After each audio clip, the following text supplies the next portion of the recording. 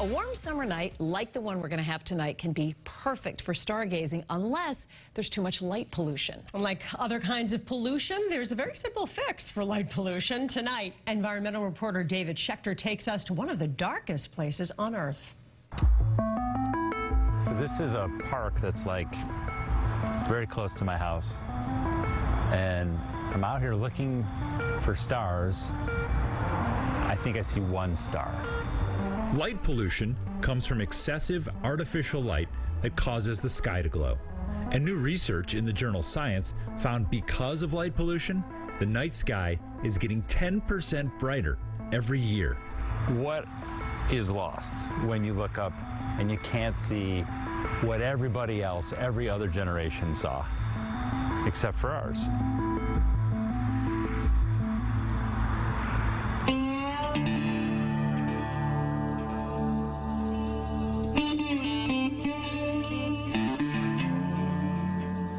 Mm. In order to see what's really up there, you gotta leave the city lights behind and get to some pretty remote places. I'm talking the middle of nowhere kind of places. This is the McDonald Observatory in far west Texas.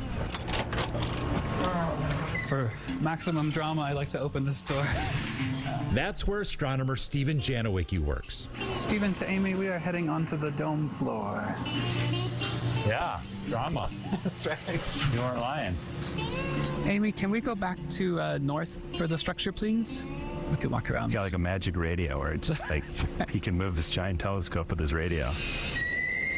The Hobby Eberly Telescope, operated by the University of Texas, is the largest of its kind in the world.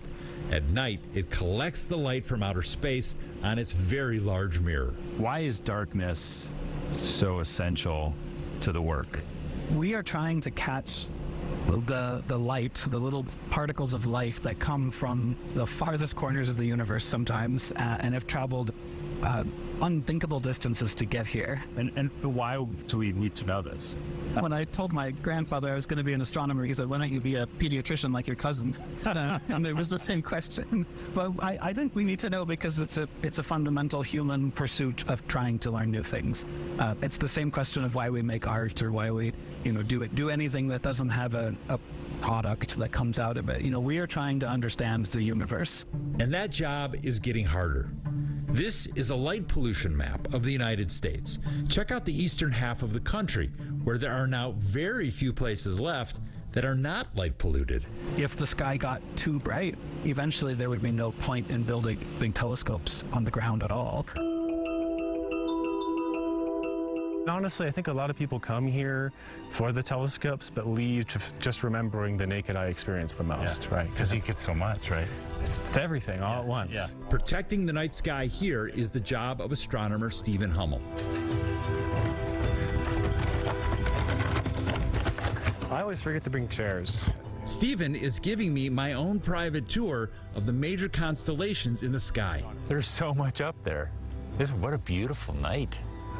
Uh, it's perfect. And the, the detail in the Milky Way is remarkable. I mean, and then to the right of it, we have one of my favorite constellations and one of the easiest to recognize, uh, which is Scorpius. Oh, yeah, it's the first time I've ever seen that. I can totally see that. Yeah, it's easy to recognize. Yes, that's amazing. We have the stinger, at the two little stars. We've got the curve. Stephen says the biggest reason we're losing the night sky is the rapid adoption of brighter, whiter LED streetlights. They both flood the sky with wasted light and reflect light off the ground. And that makes the sky glow. They're more efficient. Right. They, they, they save energy. You know, they become very cost effective. Um, but the most common kinds you see, the sort of bright white ones, are absolutely making the problem much worse.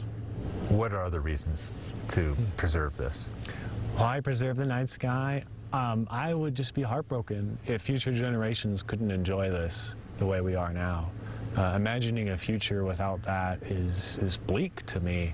Um, and it's increasingly the reality. How many people never get to see this? And light pollution is not just a stargazing problem. Research shows it can interrupt our sleep cycle, leading to health issues like certain cancers and heart problems. It's also a major factor in the decline of insect populations, which require darkness to navigate, and it contributes to the death of hundreds of millions of birds each year that fly into brightly lit buildings.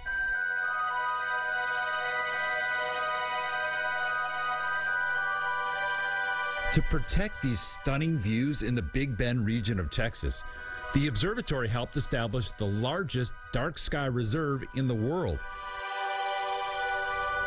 It relies on nearby communities to swap out their white LED streetlights for amber ones that don't scatter as much light up into the sky, and installing covers that point the light down. Wow, that's it. So this That's was it. you. You've switched this out. This was a different fixture. That's right. Chris Ruggia is the director of tourism for the nearby city of Alpine, Texas, a place that visitors stay when they come to see the dark night sky. This is our product, you know, is the experience of coming here. And if we want that to continue to, you know, provide some kind of prosperity to the community, we have to take care of it. The city council unanimously passed an ordinance in 2021 regulating outdoor lighting. Nearly all of the city's 200 streetlights have been updated, and the ordinance gives all businesses and homes five years to convert to dark sky friendly lighting or face a daily fine of $50. Now, what's it like to tell people that they must make some sort of change, essentially, to their home and their business? You're asking a lot there. There's going to be some conversations that aren't that aren't easy, especially as the uh, as the time limit runs out. digging around in the dark. So what I'm going to set up is called an all sky photometer.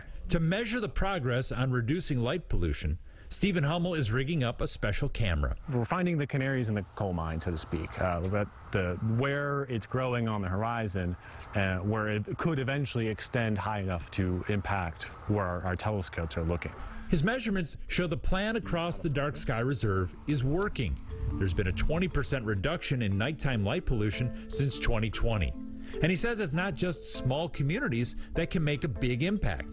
Big cities like Los Angeles, Chicago, and Phoenix are all swapping out their overly bright streetlights for ones that are dark sky friendly. The problem really isn't money, it isn't infrastructure really, it's, it's awareness. Light pollution is completely reversible. Um, it's one of the few kinds of pollution that you could solve immediately if, if you wanted to. You could flip a switch and fix the problem.